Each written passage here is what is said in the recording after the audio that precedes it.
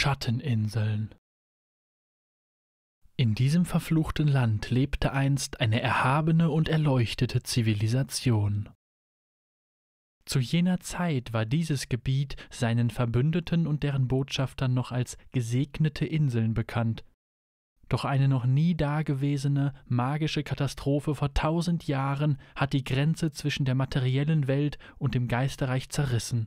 So wurden sie miteinander verschmolzen, und alle Lebewesen der Inseln binnen einen Augenblicks verdammt.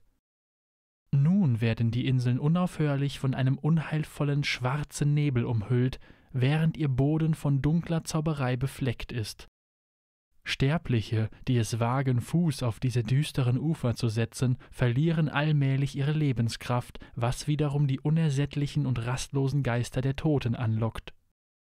Wer innerhalb des Nebels sein Leben lässt, ist dazu verflucht, diesen albtraumhaften Ort auf ewig heimzusuchen.